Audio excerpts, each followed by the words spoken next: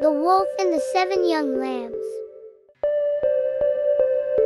In a mystical deep forest, a mother sheep lovingly warned her little lambs, with concern in her voice.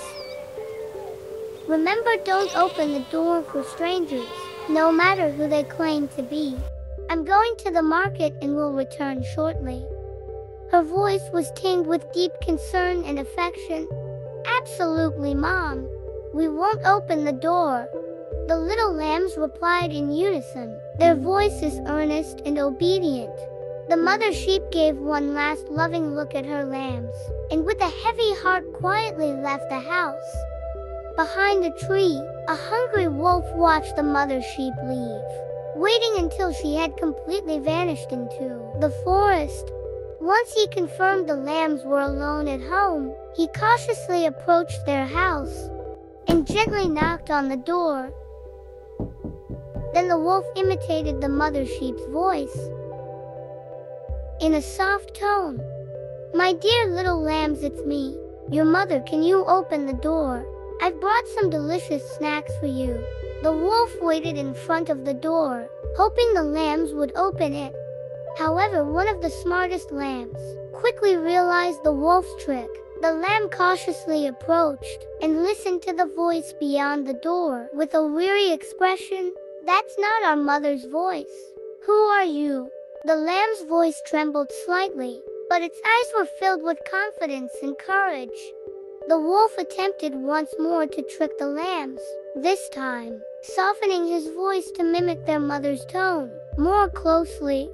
Please, it's me, your mother. Open the door, my dear little lambs. However, the lambs discerned the difference in the voice and refused to open the door. When the lambs did not open the door, the wolf gave up and left. The lambs heaved a sigh of relief, looking at each other with relieved expressions. This time the wolf disguised himself with sheep's wool. He hid himself under fake sheep fur hoping the lambs would be fooled by his disguise, and open the door. The wolf stood in front of the door, gently knocking and saying, Hello, it's me. Your mother, I want to come in because it's cold outside. Will you open the door? The lambs peered outside through a crack in the door. At first, they were startled to see the wolf, disguised in sheep's wool, but soon noticed his rough hands and sharp eyes. One lamb asked cautiously, Mother, why are your hands so big? And why do your eyes look so scary?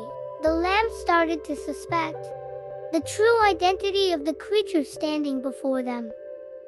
The wolf realized his disguise wasn't perfect, but continued to pretend to be their mother. However, the lambs had already seen through the wolf's trickery and became more wary of his threatening appearance. They locked the door tightly and waited for the wolf to leave. Eventually, the wolf gave up and went away. When the mother sheep returned from the forest, the lambs told her everything that had happened. They explained how the wolf tried to deceive them and how they noticed his schemes. The mother sheep felt surprised and proud. As she listened to their story, she hugged each of them tightly and praised them. Well done, my little lambs. You bravely avoided danger, no matter how much the wolf tried to deceive. You didn't fall for his tricks. Her voice was full of love and pride. The mother sheep and her lambs spent that night together, celebrating their courage and wisdom in overcoming the dangerous situation. I hope today's fairy tale brought you joy and happiness. I'll return with an even more special story next time. Thank you for watching.